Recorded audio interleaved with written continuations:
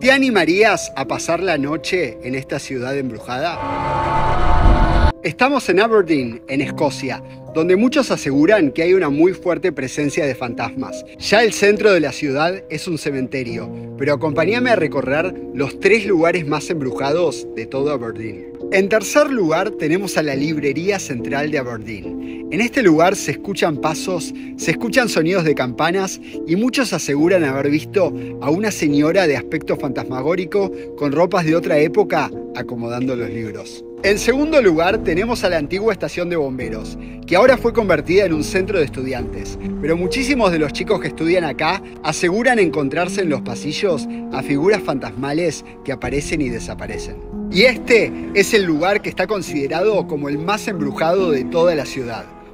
Camerons. Es el bar más antiguo de Aberdeen, tiene más de 300 años y vienen investigadores paranormales de todo el mundo, porque las canillas se abren solas, se escuchan voces y la gente asegura que regularmente se ve a un hombre vestido en un traje gregoriano.